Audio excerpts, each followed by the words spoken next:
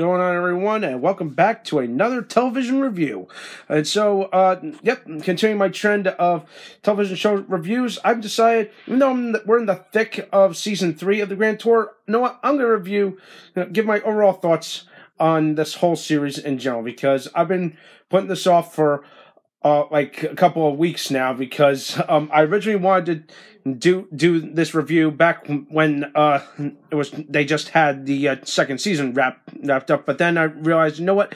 About I wait until uh, season three comes along and maybe I can give my final thoughts on it. But you know what? I'm gonna just get through it right now, and I'm gonna say this is, um, it is really damn entertaining. I'm I love it so much. If you're a car fan or a fan of Top Gear, you love the show. If you love to travel, you would probably love the show. And like they, this show really delivers. Okay, and like everyone does their part. You know, there's they still have their their own kinks. You know, the, from you know Jeremy Clarkson saying he's the car You know, I'm the best in the world. And to Richard Hammond, you know, doing his own thing. And of course, of course, James May being Captain Slow as usual. But hey, that's that's how they operate. That's how they roll. And like I'm loving what they did so far throughout the series, reviewing the cars, taking us to new exact places. Um, I, we're not. I actually really enjoyed the. I can't speak anymore. The Namibia special back in season one.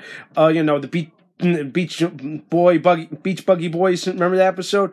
Uh, I really enjoyed the Colombia uh, special this pat and this during this current season. Yeah, I I'm, I'm, no honesty, I really enjoyed uh, this. I'm really enjoying this show. I can't wait to see where this goes. If if it's gonna get renewed for another season, it, it's some really good stuff.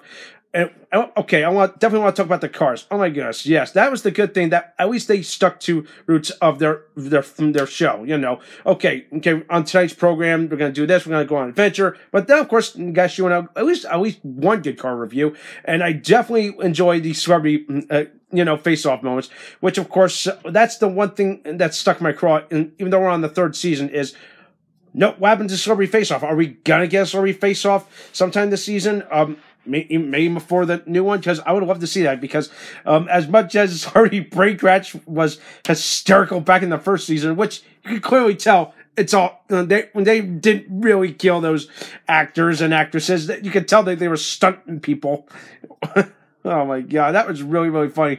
Uh, does he mean? Does that mean she's not here? She's not coming on the show? No, James. Of course he's. Of course they're not.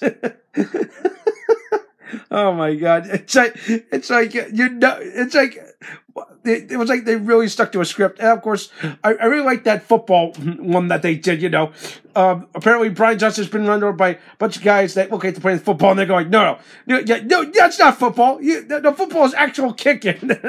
of course, it goes off on that whole thing. That was pretty, pretty damn irritating. Oh my lord. So yeah, overall, if you're a car fan, definitely watch this show. It's over on Prime. Absolutely agree with it. Um, the cars are the car reviews are amazing. Um, that NIO review that they that they just reviewed like a few weeks ago, really cool stuff. Even though it's not street legal, but I definitely want would love to see that car uh, you know, up in person. That's just me for car, car enthusiasts out there, right? So overall, if I want to give I want to give so far. I'm going to so far give the the Grand Tour this overall an overall score of an eight and a half out of ten. It's almost damn near perfect. My only knocks on it is the fact that um uh, you know I really wish they could really do more of the celebrity uh, face off segments, or and of course maybe come with something new and original. Besides that, of course, hey hey, but hey, at least they're going out of the way to. Uh, do their own challenge, just you know, uh, you know, do something that, that they never ever done back on their old show. So, so it does have some merit, and it's definitely well worth watching on Prime. All right. So that does for a night. Let me know what you think. Thumbs this video, subscribe my channel, stay tuned for some more awesome videos.